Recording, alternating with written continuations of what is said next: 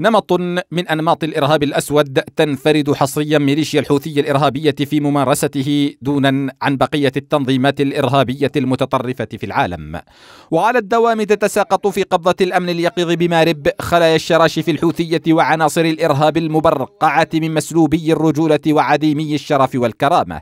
في حين تكشف هذه الوسيلة الحوثية المموهة عن فشل الحوثيين في اختراق مارب امنيا وعسكريا فهي تبرز أيضا دناءة السلوك الحوثي وتجرده كليا من الآداب العامة والأعراف القبلية وأخلاقيات الحرب التي تدور بين الرجال وجها لوجه. ورغم قناعة ميليشيا الحوثي الإرهابية من فشل كل خلاياها النائمة التي حاولت بهم زعزعة أمن واستقرار مارب من الداخل إلا أنها ما زالت تزج بعشرات من المغرر بهم إلى قبضة الأمن بمارب وقضبان السجون والعدالة.